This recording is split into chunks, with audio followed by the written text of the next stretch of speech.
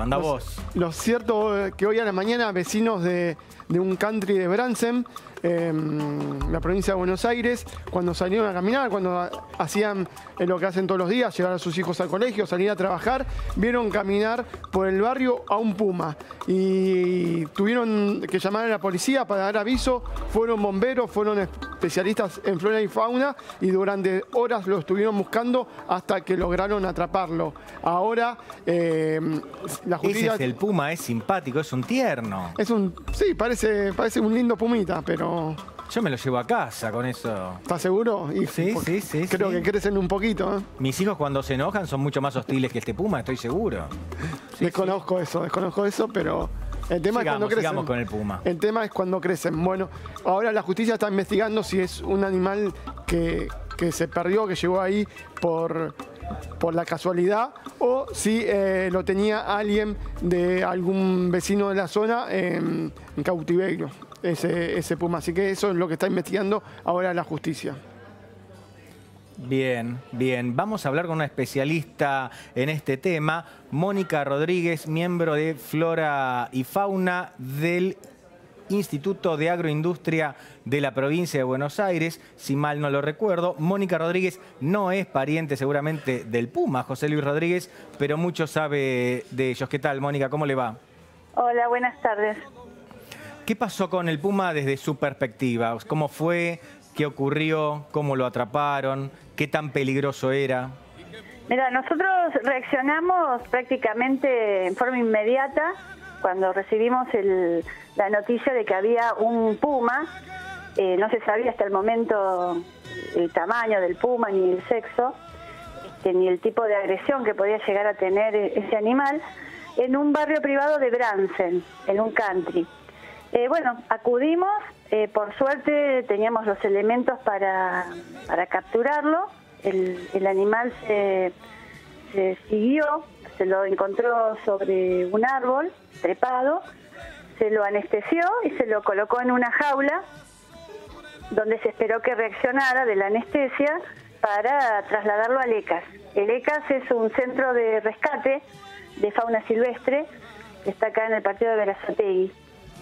El animal presenta, eh, digamos, cierto grado de silvestría, o sea, se lo ve bastante agresivo, que eso es bueno en un animal con estas características, pero está un poco delgado.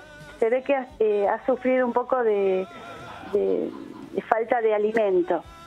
Eh, eso también es bueno porque no es un animal adulto, es un animal juvenil, es una hembra juvenil que tiene, digamos, mucha silvestría. Eh, eso quiere decir que no ha estado en contacto con el humano. Eh, yo supongo que este animal ha sido capturado desde pequeño y liberado inmediatamente. Capturado, perdón, capturado desde pequeño y liberado inmediatamente. Sí, generalmente cuando matan, estos animales aparecen, digamos, en contacto con el humano porque primero se matan a los padres. Eh, a la madre, Pumas, se la mata y ella obviamente deja los cachorros este, ah. abandonados. La gente por ahí los levanta para cuidarlos y cuando se dan cuenta del, que es un animal, digamos, que no, no se puede tener bajo ningún concepto en una casa, los liberan. Por eso eh, este animal presenta cierto grado de silvestría, que es bueno que la tenga, porque si, si logramos eh, comprobarlo, se puede llegar a liberar. Esa es la idea. ¿Dónde se libera un puma? Eh, porque yo me estoy enterando recién ahora de que puede haber pumas caminando por la calle, por decirlo muy brutalmente.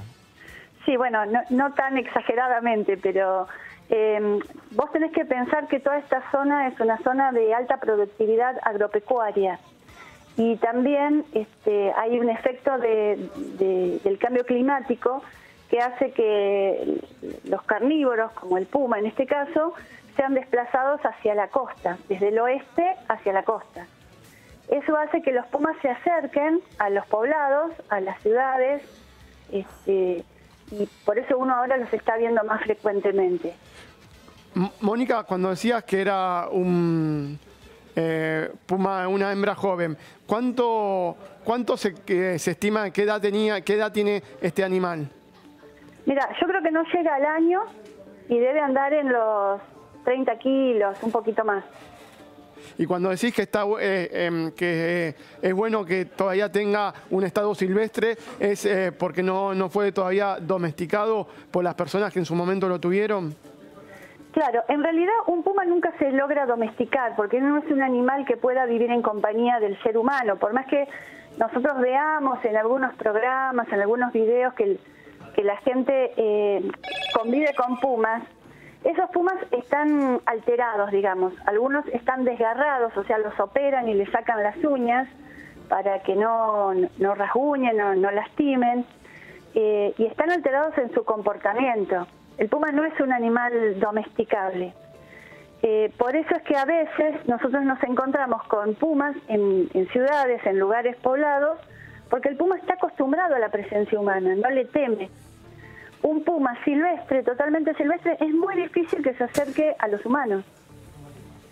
Les teme. Mónica, ¿cómo se atrapa un puma? Bueno, nosotros por suerte tenemos este, las, eh, las herramientas eh, veterinarias adecuadas. Tenemos un rifle que dispara unos, unos dardos que se colocan unas eh, drogas para dormirlo que no le causan para nada ningún tipo de daño, este, y la dosis ajustada al ojo del veterinario que calcula la cantidad de la droga que se, tiene que poner de acuerdo al peso que se estima del animal. El animal eh, cae dormido y se lo ubica en una jaula que tiene fardo, pasto, eh, para hacerle mullida el tránsito. Se lo cubre con una lona para que no